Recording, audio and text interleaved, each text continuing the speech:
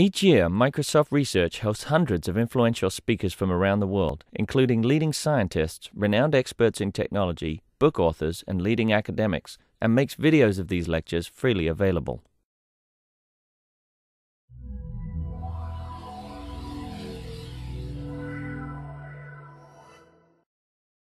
My name is Lee Dirks. I'm the Director for Education and Scholarly Communications in the Microsoft Research Connections team. And uh, today I'm uh, very pleased to, uh, to have um, Hazel Asuncion from uh, University of Washington Bothell to uh, join us to give us a talk on automated um, traceability techniques. Um, um, Hazel is an assistant professor um, at the Computing and Software Systems Department at the University of Washington Bothell. She received her PhD in Information and Computer Science at the University of California, Irvine, where her research emphasis was software traceability. Um, further, she has worked in industry in a variety of roles as a software engineer at Unisys Corporation and as a traceability engineer at Wonderware Corporation, where she designed a successful in house traceability system.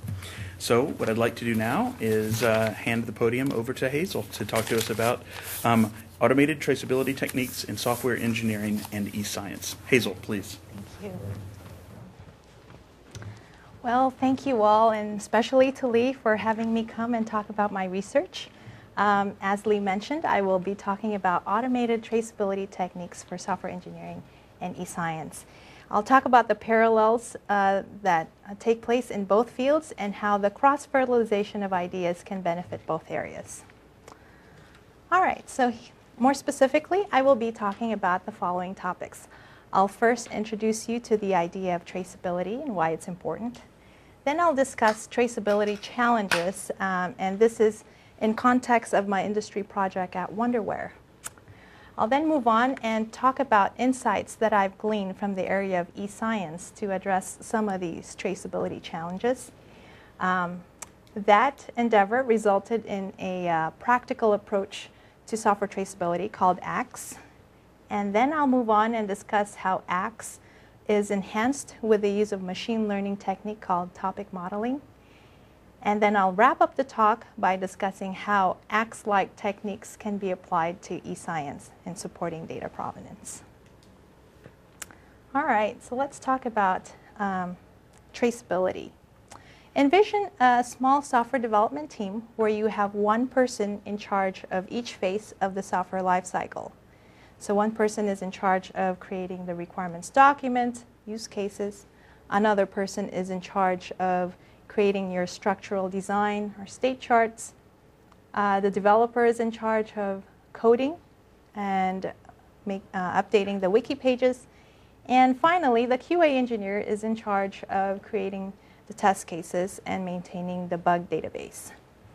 So let's say that the person in charge of the requirements um, is interested in finding the related documentation for a particular requirement. Well, it's easy to see that that person can simply talk to the rest of the team and ask them for the related documentation. Now let's think of a scenario where you have a larger development organization and you have multiple people working on each phase of the software lifecycle. Now you have teams of people working on each phase and these teams have their own uh, set of tools and they maintain the information in their own repositories. Um, now it's more difficult to find the related information across these heterogeneous artifacts. Now let's raise the level of complexity and let's talk about a software development team that is distributed across the globe. And let's say that parts of the system is developed by another organization. Let's say they're contracting a, a subpart of the system. Now it becomes even more difficult to find the related information since the information is not only geographically distributed, but is under different authority domains since we have subcontractors involved now in the picture. So the goal of my research is to be able to identify these related information, which may be distributed, may be heterogeneous, and using explicit links to identify these connections. Thus far, my research has been applied to the field of software engineering, but the techniques that I've uncovered in software engineering can also be applied in other domains, such as e-science, or domains with large digital records, such as medical patient files or patent records. In software engineering specifically, software traceability can help us quickly access the related information. So if we are interested in finding information on a particular module in the system, um, links to that system can answer questions like why this particular component is used, if it could be replaced, um, who are the people who wrote this particular uh, module, is this component tested and does it meet requirements? In addition, traceability aids in understanding the entire system, in understanding the impact of changes to the system, in debugging the system, and in communication between various stakeholders. In eScience, if we captured traceability links between the design and the various artifacts, as represented by the blue lines, then it will help us in understanding the rationale behind the experiment. Um, that is referred to as data provenance. It will also help us in tracking the past experiments that have been performed, the related data sets, and the resulting publications. So in the entire soft, uh, experiment life cycle. So now I move on to talk about some of the challenges in being able to capture these traceability links. And this uh, section is in the context of my industry work at Wonderware. This work is in collaboration with Frederic Francois and uh, Richard N. Taylor. So a quick background uh, on the context of this work. I did this work uh, at Wonderware, which is based in Lake Forest, California. And the company is a leading supplier of industrial automation software. Um, they have a distributed development uh, setting where they have developers in the US, Australia, Europe, Middle East, Africa, and India. At the time of the project, there were more than 40 projects going in parallel, and they had 250 development employees. The company was interested in two types of traceability, requirements traceability and process traceability. What's requirements traceability? Well, essentially, it's mapping the different artifacts produced to the requirements to ensure that those artifacts satisfy the customer requirements. Process traceability, meanwhile, is mapping the actual processes, the day-to-day tasks, to company procedures to make sure that these processes conform to the company procedures. Um, the Wonderware was interested in both types of traceability to comply with government regulations.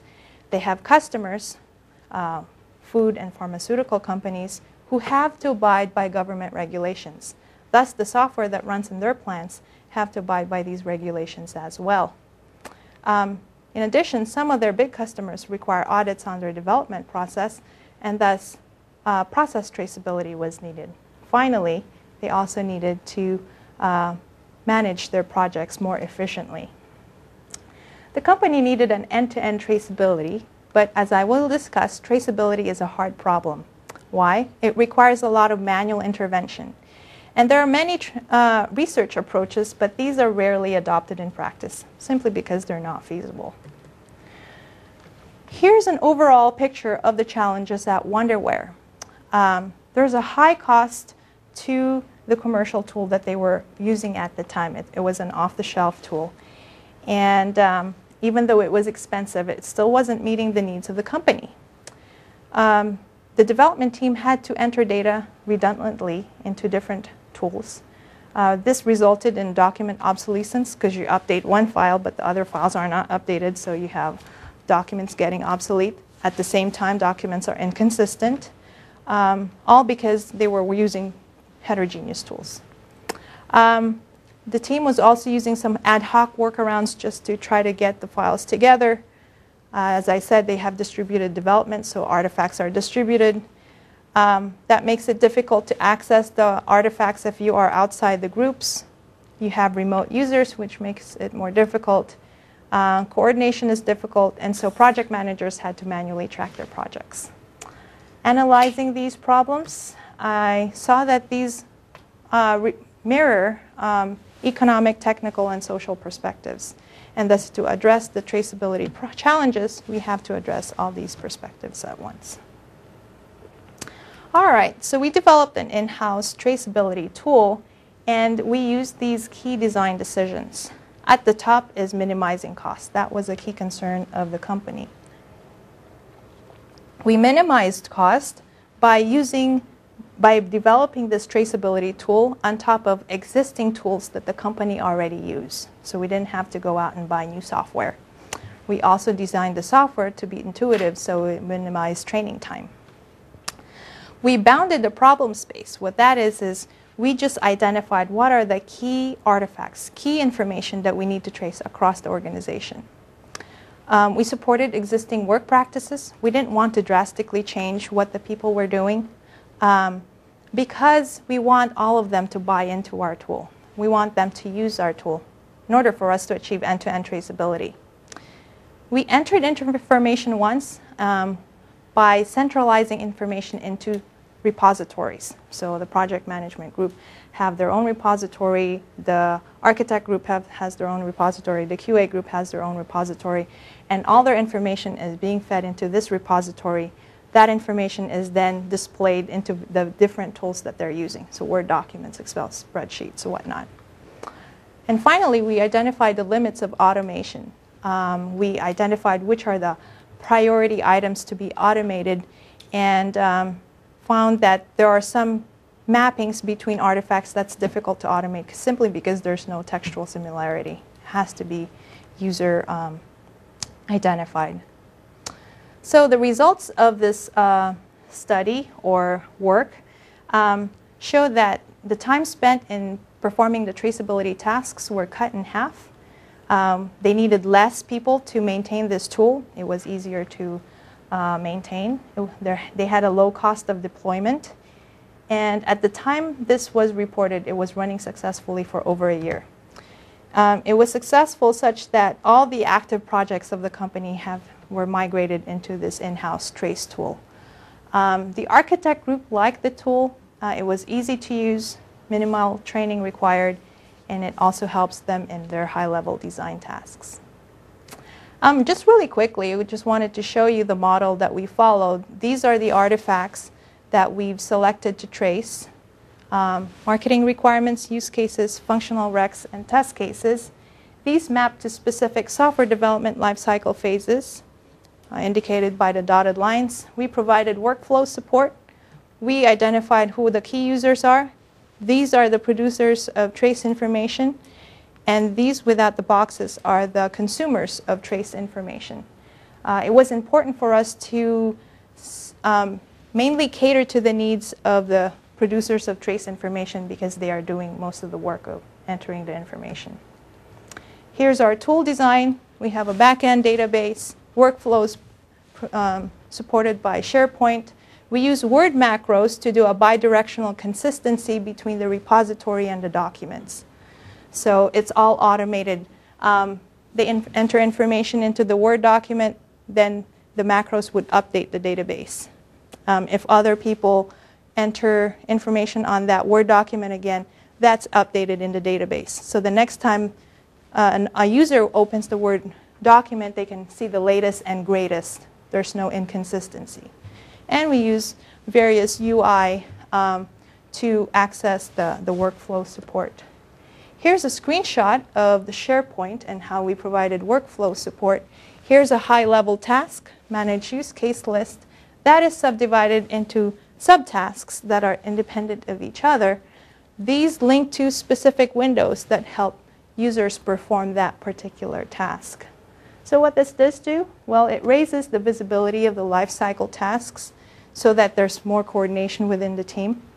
And um, it helps also with working with the remote groups because they can see where the do documents are. There's a central portal for them to go to. All right, we also created automatically generated reports with InfoPath.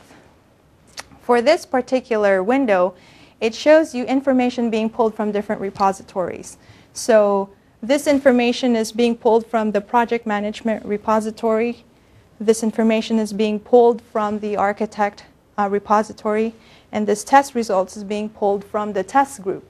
So uh, in one window, you can see information that is owned by different groups, and they like this very much because now they can trace. they can see the artifacts across the different groups. and um, the different groups can access the same information.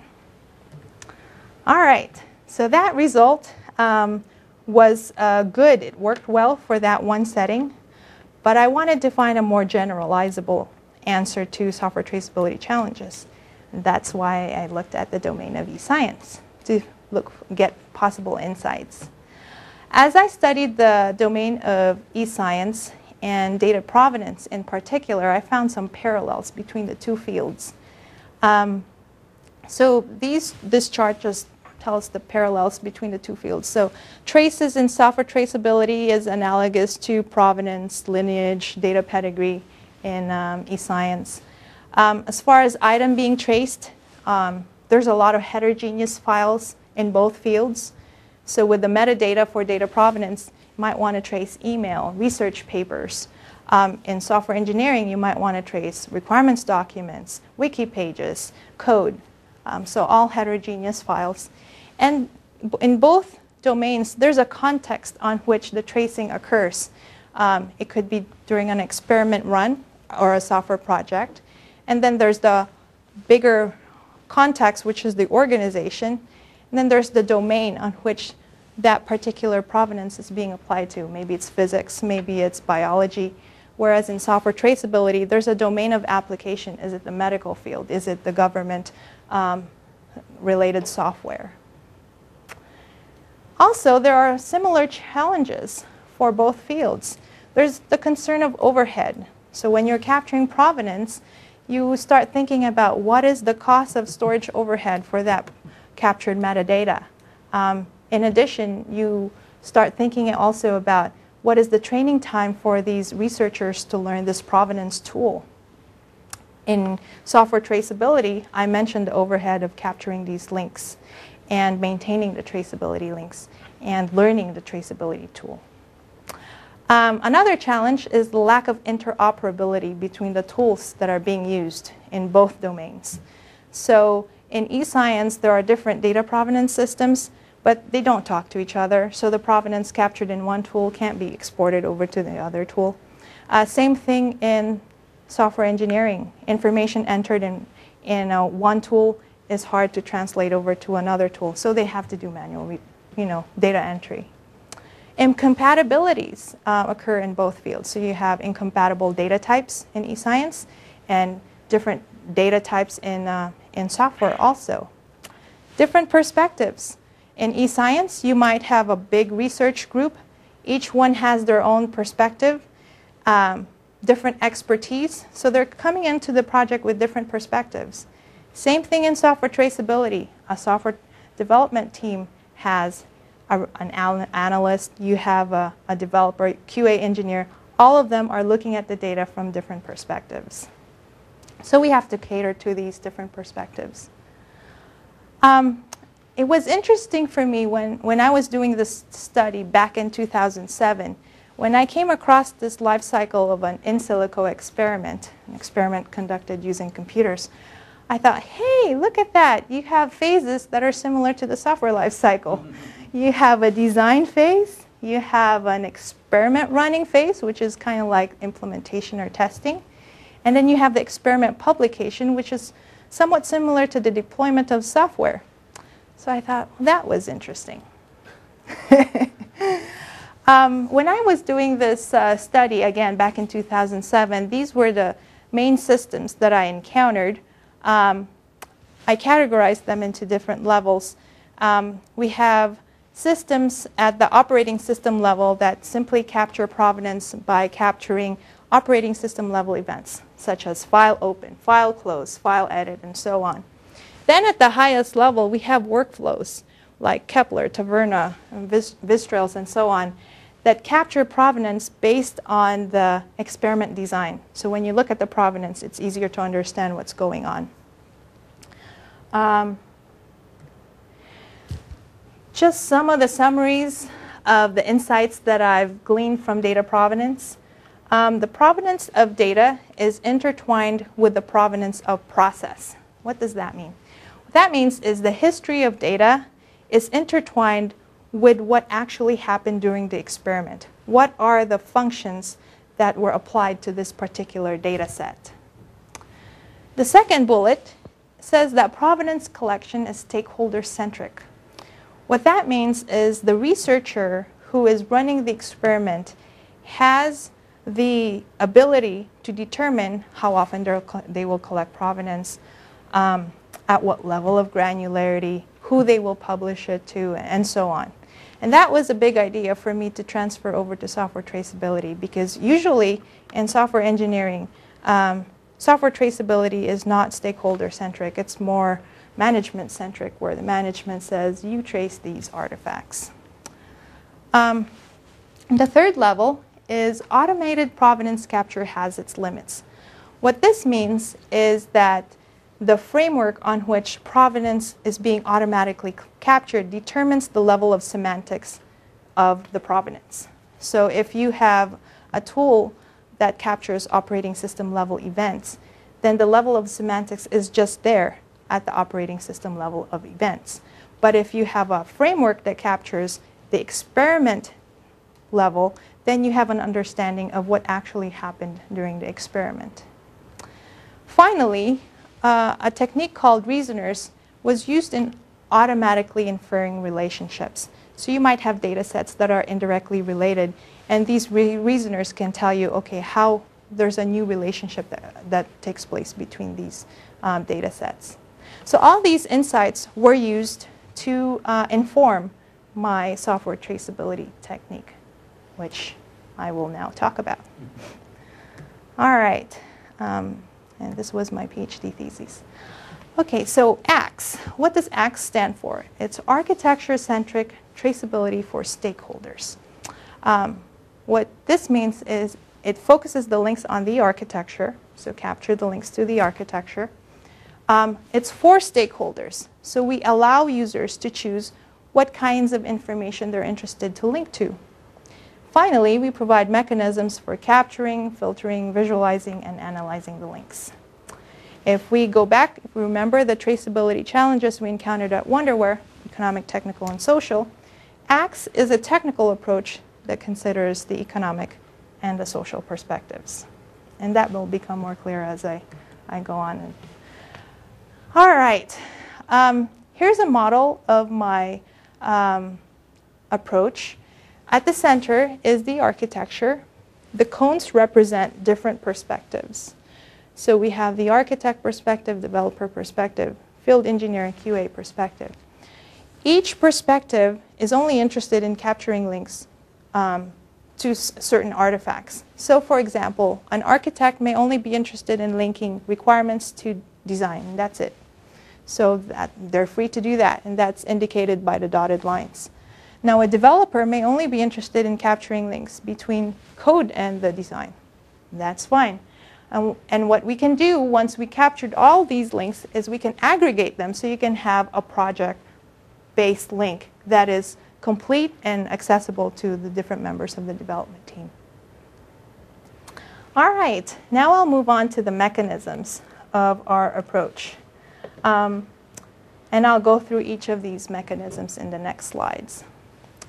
So the first one is we capture links prospectively.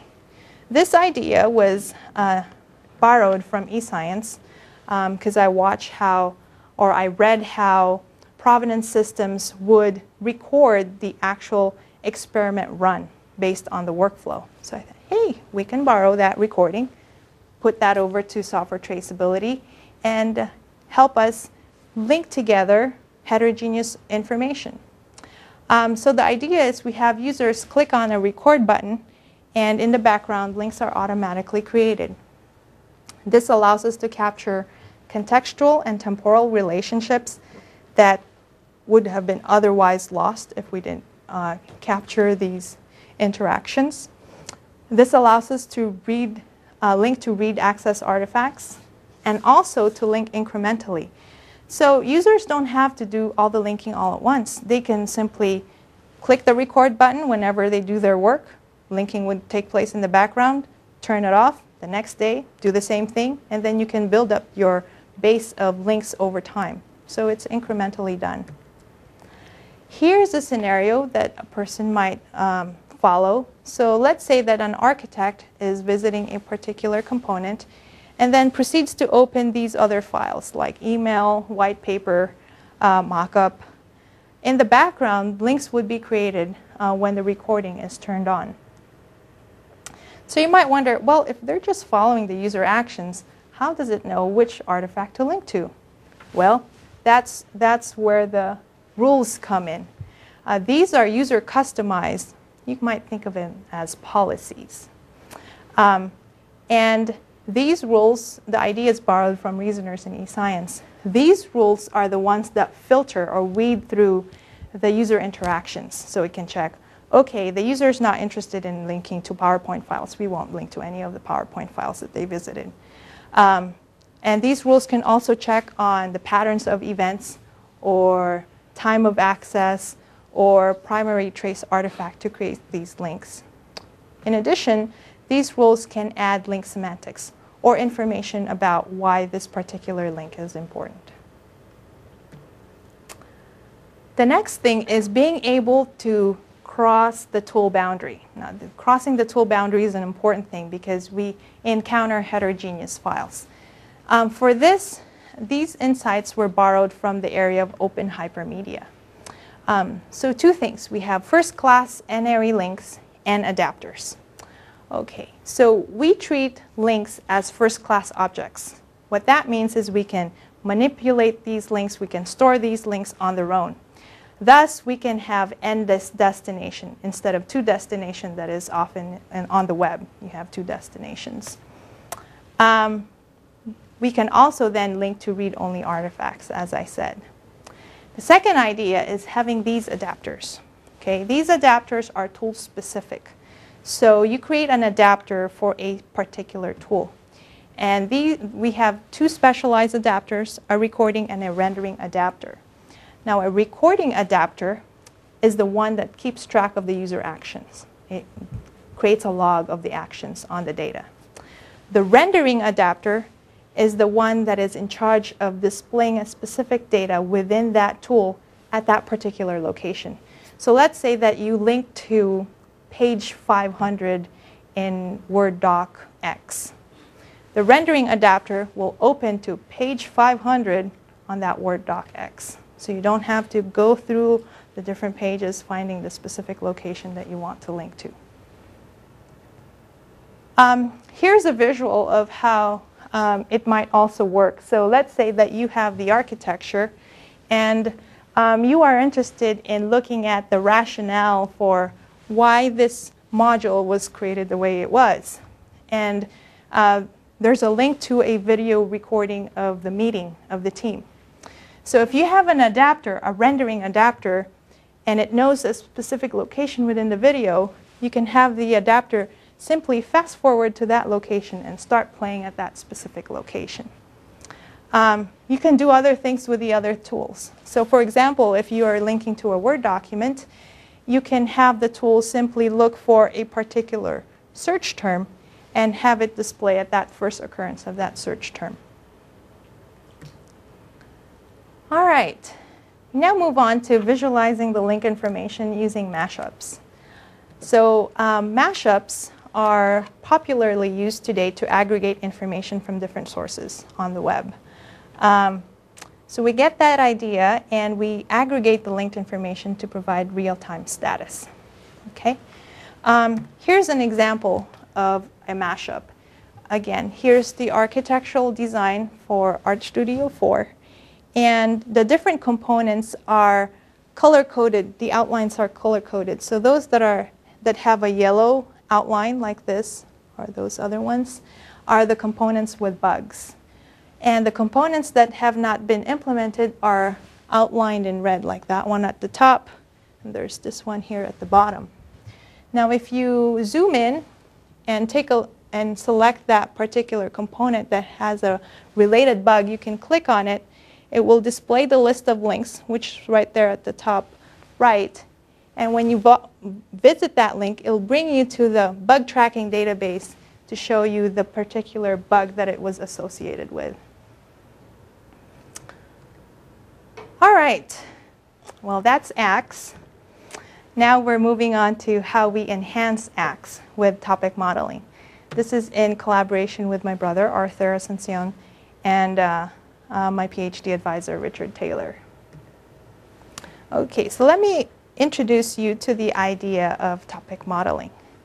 Um, you have a text corpus, and you can feed that into a topic learning algorithm. Um, after it goes through the topic learning algorithm, out comes automatically discovered topics at the top and documents that are tagged by, by those topics. So if you look closely uh, at this particular example, each of the lines at the top there represent a topic. Um, and the words are the highest probability words that represent that particular topic. Now, these are two New York Times articles that were uh, taken. Uh, I think this analysis was done on a period of a month of all the New York Times articles. And we can see on the first snippet, um, of, it has mostly red and maroon topics. Now, if we look at our legend up there, we can see that the maroon and red topics represent the September 11th attacks. Okay? Um, if we look at the blue uh, topics, um, eh, we see that it is related to the business topic. So um, this makes sense for the first article because if you read the article, it's talking about the effects of the September 11 attacks on business. So you have those two topics. Um, here on the lower uh, article snippet, we see mostly green and light green topics. Now, when we look at the, the, our topics discovered, we see that those are uh, sports topics. And that makes sense when we read the article because it's talking about a specific football game. All right. So how does, oh, more, more details on the topic modeling. Um, we use a particular topic model called latent Dirichlet allocation. And uh, as I said, a topic is represented as a probability distribution over words, and a document is modeled as a probability distribution over topics. So we can have automate, automated analysis on the documents we can find out exactly what the document means by simply running this topic modeling. So how does topic modeling help ACTS? Well, um, ACTS, or prospective traceability, as you capture more and more links, you increase your artifact base, and you have more var varied types of artifacts. When you have that, it increases your topic quality because topic modeling works on large, large data sets. Okay? Topic modeling helps ACTS, or prospective traceability, because it can automatically identify the topical content of the documents. So it can aid the prospective capture. Instead of floundering around the search results, you can actually intelligently navigate to the documents that you're interested in. It also aids in the uh, detection of false positives. So link quality goes up. So it's a win-win situation for both techniques. All right, so here's an overview of our approach. We've developed three tools.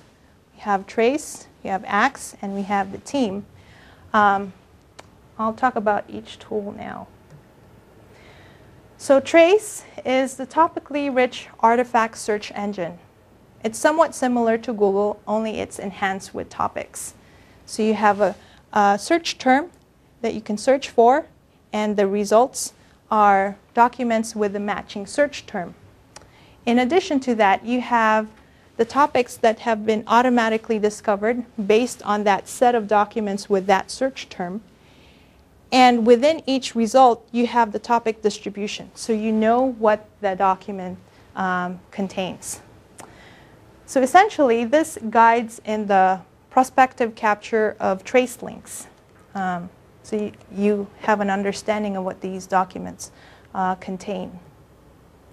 You can also order by topic distributions. So if you were interested in topic two, um, then it will order the search results again by the, uh, the closely related uh, um, distribution to topic two. Um, if we are interested in one particular artifact and we want to find artifacts that are similar to that particular document, we can simply click on similar pages and it will show you uh, documents that have the similar topic distribution. So we have clusters, we have documents that are clustered together based on similar topics, serving as a recommendation system. All right, so now we sh show you the screenshot for our ACTS tool, or the tool that captures links prospectively.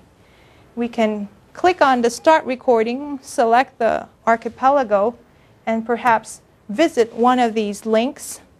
When we do that, we stop the recording, we get a confirmation of which links were visited, and then they are added to the list of links for that particular component.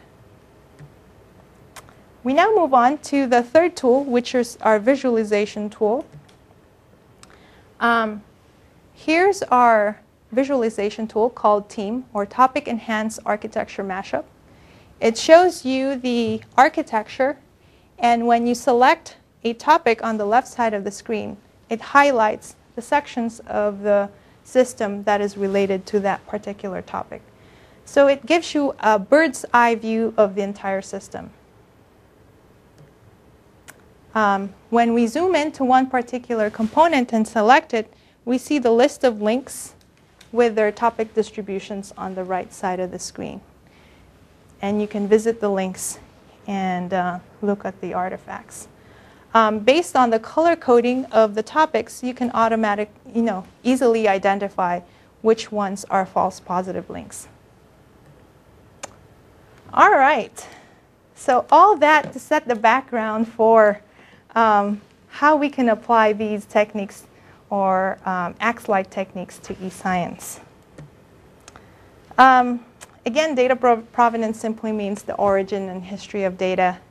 Um, the most predominant means of capturing data provenance has been scientific workflows. Um, so what are the challenges to data provenance? Um, well, Jim Gray said that managing information is now a necessity for scientists, whether it be data collection, analysis, publication, or retrieval. And this applies from small scale uh, research projects to large scale research projects. Um, the challenge is it's, it's expensive to capture all the metadata. It's too laborious for scientists to manually write down what's the setting on the instrument, what is the parameter on this function, uh, what version of this tool are we using. Um, and it's also different, difficult to collect provenance across different tools. And data analysis takes place across heterogeneous tools. So what is the state of the art in metadata capture? Well, we can have researchers manually annotate their experiment design. You can do that with Kepler. We could do that with uh, Taverna in the MyGrid project. Another approach is to manually group the experiment-related objects together. So what that means is you simply upload to one folder uh, online all the publications, uh, email, whatnot, and that is supported by the myExperiment project. Another approach is to use the idea of ontologies um, to automatically link the documents uh, with provenance logs. Now these ontologies take time to build up because you have to identify important concepts, how they are related to each other. That's supported within the MyGrid project. Another suggestion by Gray and uh, is to have the team use software tools. So all the communication is through the software tools, and then you can just search through the electronic records. So you can, like the Met Office, which is UK's uh, National Weather Service, um, they've built this flexible configuration management tool, which is based on open source CM systems, open source bug databases. And with that, in that setting, you can simply search through electronic records. What is the state of the art in capturing um, uh, provenance across different tools? Well, more recently, they have this open data interchange um, provenance metadata uh, they called it open provenance model. And the idea here is the different provenance systems can export to this standardized metadata so that the other provenance systems can consume it. So that's a way to, to do data inter interchange. Um, another uh, means is to use a protocol that allows for sharing and accessing data across different tools. And that's using the Open, um, open Data Protocol. Um, for some reason, my, my link got cut off. I guess it, it was a link online. um, so this helps in sharing the same data by using a particular protocol, and you can share it to the, to the other members of the team. Um, still another approach is to chain multiple workflows. So if you have a big research team, each team is using a particular workflow, um, you can have the different workflows that were produced to be chained together. So you, you can have a workflow created in Taverna, workflow created in WS VLAM, and another workflow created in Kepler, and you can just link all those workflows together, and that will represent a big overarching experiment. A final approach is to use a centralized repository. So essentially, you can have the workflow specifications that are done in the different tools, translate them to Prolog. Prolog is your central repository, and that keeps track of your provenance. Um, what are the issues with these? Well, certainly these are steps in the right direction. Um, um, but the thing is, they still require scientists to adopt these specialized tools. And end-to-end provenance capture is not yet achieved. So you can do it in, within these um, limited, limited tools. What is my goal? My research goal is to support scientists in the capture of data provenance within their existing work environment. And I call this in situ. So I'd like to use an approach that is a lightweight uh, means of capturing metadata, to capture metadata across different tools, and to capture these links to metadata as scientists perform their scientific analysis.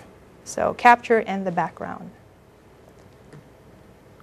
What's my research plan? For the short term, I'd like to build a piecemeal provenance support within popularly used tools by scientists. Um, and this is uh, supporting the in situ capture. Why do I want to do this? Well, it'll minimize training time. So the scientists are already familiar with the tool, no training time involved, or very little training time. Um, we minimize tool setup and encourage wide adoption across the different researchers. I plan to build a provenance link base to uh, maintain and um, store the different links to the metadata. I plan to uh, aggregate and analyze all the captured provenance using machine learning techniques like topic modeling, and then to visualize these captured links um, to serve as a metadata for the experiment. What's my long-term plan? Um, I'd like to move towards supporting large-scale science so investigating the scalability of ACTS-like techniques to support collaborating scientists. Um, investigating how I can use insights from the research area of software architecture to build a scalable tool support. And finally, investigating the scalability of topic modeling or other machine learning techniques and analyzing very, very large scale metadata. As of today, though, topic modeling can scale to hundreds of thousands of artifacts um, quite well. So now I'll discuss my current and planned projects. The first one is the provenance within Excel. Uh, why Excel? Scientists in the natural sciences use Excel to analyze their data. Um, this is evidenced by the number of books. I just Googled how many books were geared to scientists on how to use Excel, and there's a whole bunch of them. So yes, we're going to create an adapter for Excel, an Excel add-in. And here's a screenshot um, where I just had my students start working on this one.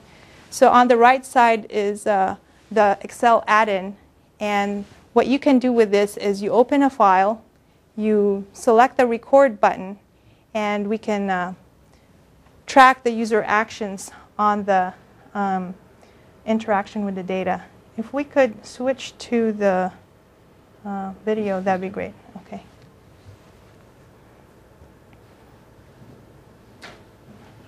Excuse me for a second. Sure.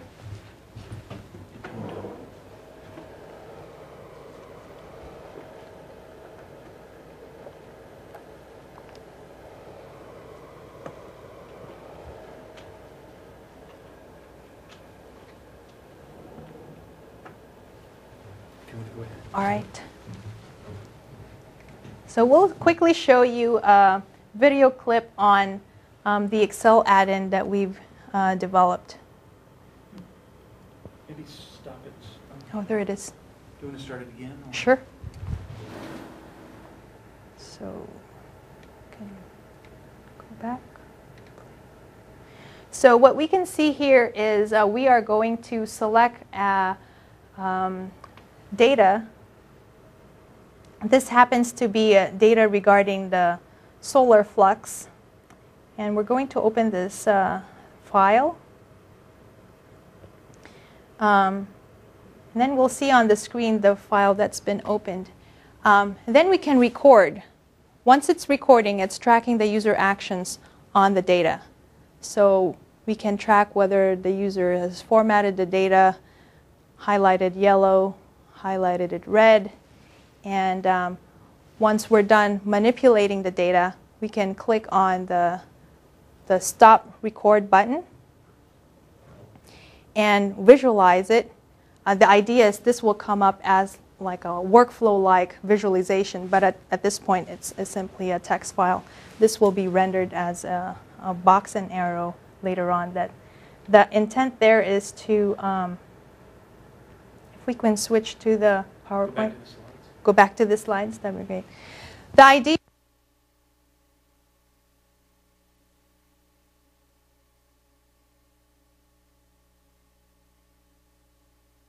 they did within Excel spreadsheet.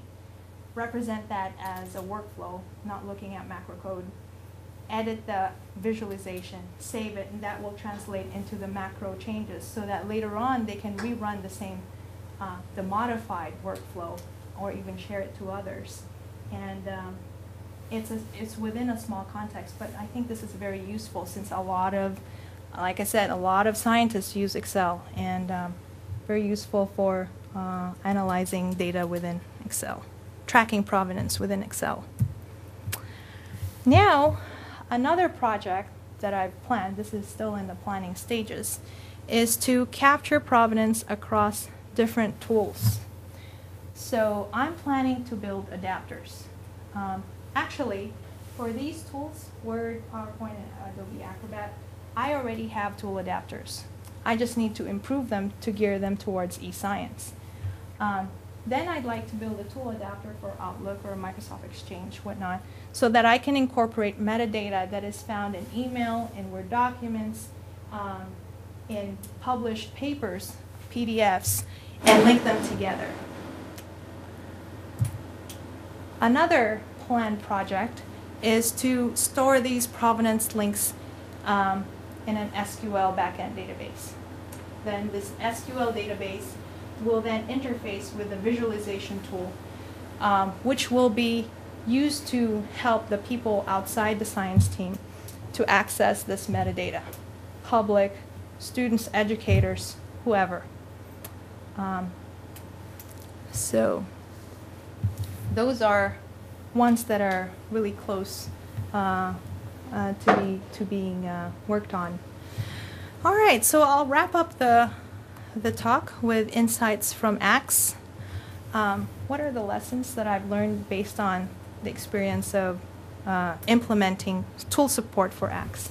Well, links to metadata can be captured within the scientist's work environment, I think. And we do that by building these tool-specific adapters. Links to heterogeneous metadata can be automatically captured. Um, we can capture provenance across different tools and analyze them using machine learning techniques like topic modeling. And then we can do visualization so that we can support a comprehensive understanding of the scientific analysis. I'd like to acknowledge the undergraduate students who helped in the development. The first two were the ones uh, instrumental in doing the Excel add-in, my current students at UW Bothell. Um, these are the students at UC Irvine who helped me develop the ACTS tool. Um, I'm currently being funded at UW Bothell, and uh, NSF uh, was my source of funding for the development of the ACTS research. Any questions? Thank you very much. You're welcome. I have a long list of Wow, great. That's interesting- good. interesting That's ideas good. We'll probably want to talk about offline. but, Definitely. Um, you know, one of the one of the questions that I had was just uh, specific to a couple of points you made earlier on, and then you kind of pulled it Mhm, together with the, the provenance link base Mhm, at the end. Is, is how do you envision this being searchable at a at a lab level, at an institution level, uh, at a domain level? Mhm. I'm, I'm guessing all of the above. Yeah, yeah. Uh, definitely all of the above. Um, there may be, depending on the stakeholders involved, there may be some restrictions on, you know, what they want to publish or, you know, but certainly I can envision this being searchable at, at the, at the organization level, uh, you know, even including the public if, if they want to use the search tool, certainly. So I'm thinking, I think about the myExperiment tool, and I'm Mhm. not familiar, I'm familiar with the tool, but not familiar with the search ability, but the ability to have those semantic connections Mhm. across uh, programs or across workflows um, would be, would be powerful. Oh, yeah. Currently, I think what they're using is uh, building this ontology. Um, great, but like I said, it requires time to build up an ontology. Um, with this one, we're trying to provide a lightweight support, so the users don't have to spend so much time trying to set things up. We do the setup for them, and then they can start using it. Another super practical question about, Mhm. for instance, the, the Excel item where you're Mhm. recording, stopping recording. Um, how necessary is it? I think you alluded this earlier in your talk. Mhm. How easy is it to capture, start to finish, and then realize, oh, right in the middle of that, I went off on a little fork and I did, did something I didn't want to do, or Mhm. oh, I hopped over and went to Facebook, Yeah, and yeah, you know, or yeah. the phone rang. Sure, Okay. sure. How easy is it to go back and, and edit, um, edit a capture, or is it necessary to redo the capture? Um, uh, the way I envision this is it'll be easy to edit. First of all, any any digression to other tools will not be recorded It would only be in the. only within Excel, so that eliminates that. In that, in that particular tool, some of the, was it ACTS or um, Trace it would go across tools? yeah, is that ACTS right? goes Okay. across tools, but for the Excel add-in, it would just be within that tool. Perfect, makes sense. Yeah. Now, if they have a digression within Excel, um, my solution is simply record everything. So we will have a visualization of everything that they've done, and um, they can look at the visualization, say, "Oh, I don't mean this particular step." Right-click, delete, so that that would be eliminated from the captured provenance. They can save it, and when they save it, that would be automatically translated to the macro, uh, you know, the translated macro level so that later on they can rerun the edited workflow. Um, More practical questions. Sure. Literally, you're, you, right now, you're capturing it as a, as a text file, Exactly. right? Mhm. And so that would get, uh, I'm trying to think of like, that would get wrapped up in the XLSX format mhm. and would travel with the document. I'm trying to think about the reproducibility Sure. findability after the Sure, fact. sure. Um, certainly, yes, we can uh, capture this provenance that we captured into this .xlsx Right. zip file. Okay. And um, later on, another user can open it up and see that this is the processing that's, that's been done on this document. And then the sixty-four thousand dollar question is, what's gonna make a scientist want to do this? What's the motivation? I mean, you know, you're, you've got economic, I understand, the technical Yeah. possibilities there, but it's the social Mhm. that, you know, it's fantastic. I love the fact that you have myExperiment, people who are sharing the workflows, but Mhm. literally getting scientists to say, okay, I'm going to capture, you know, the, the long tail of science that I've done in this Yeah. Excel spreadsheet. Mhm. You know, what, and do you have any thoughts on what's gonna motivate them to do that? Um, well, certainly, sometimes they do some exploratory work on their analysis. A day later, they forget, what did I do? So essentially, what what happens right now is they have to redo the whole thing.